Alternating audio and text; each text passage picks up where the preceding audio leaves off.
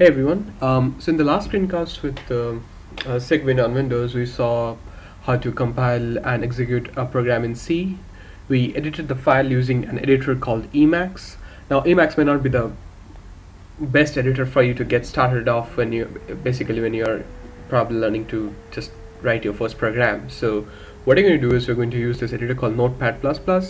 Um, if you have um, watched the early, uh, one of my earliest screencasts on uh, Python, uh, you, you, probably already know of Notepad++. So there we used um, Notepad++ for writing Python programs. And if you remember, I also mentioned that Notepad++ has support for various other languages. C happens to be one of them.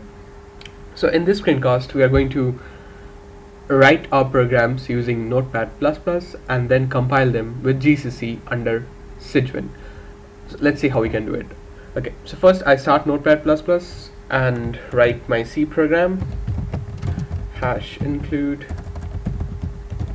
stdio.h c arg v oops wrong right uh, print f oops.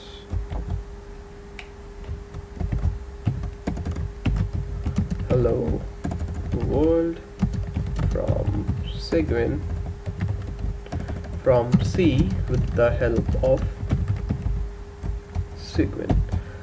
Slightly longer message this time. okay, so that pretty much, uh, okay, just one return statement and that should be it. I'll now save the file. So let's say I want to save the file in a new directory called um, cprogs. I'm going to create it here. cprogs I'm going to give it the name hello.c and I'm going to save it. Immediately as you can see the syntax uh, highlighting has taken place so the keywords int has changed its color. We have the syntax um, code folding and things which you also probably noted in Python.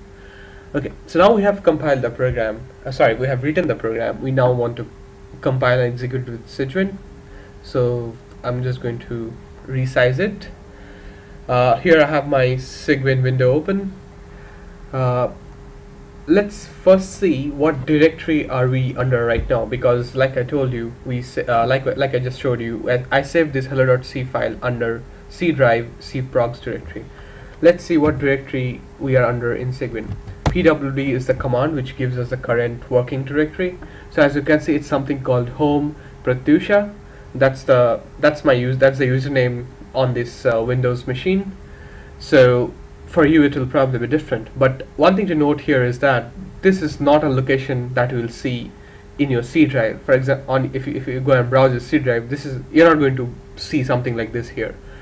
This is because this is a directory which Cygwin uh, uses internally for it, uh, so which, has, which Cygwin has created uh, in its own environment. You can see it, but it's not under your C drive. So to go to actually go to the location where hello.c is saved, we need to first go to the C drive. We do that by going to cd cygdrive and then since our drive is C, we'll go to C and now you'll see that we're in cygdrive C drive. Now if I do ls, you will see all the directories that you have under C drive and you will see that you also you we also have the directory cprogs which you just created. So now it's easy. We are going to just go there and we'll see our programs. Uh, sorry the program which you just created. So we're going to now compile it. Hello and hello.c and we should be ready to execute it now. And as you can see it says hello world from C with the help of Cygwin so which is really neat. So now you don't need to really use an editor like Emacs for editing. You can just use the relatively easy editor called Note, which is Notepad++, and just write your programs there and compile it from here. Um, uh, these commands like ls and cd are really simple commands for moving around in the file system from the terminal. Uh, I would recommend you to um, I'll probably do a screencast at some point of time just to demonstrate all these basic commands. Cygdrive is um, so in Cygwin so all your Windows directories like C drive or D drive will be under Cygdrive so if you would have um, so let's just go and see what we have there. So as you can see I just have C here because on my computer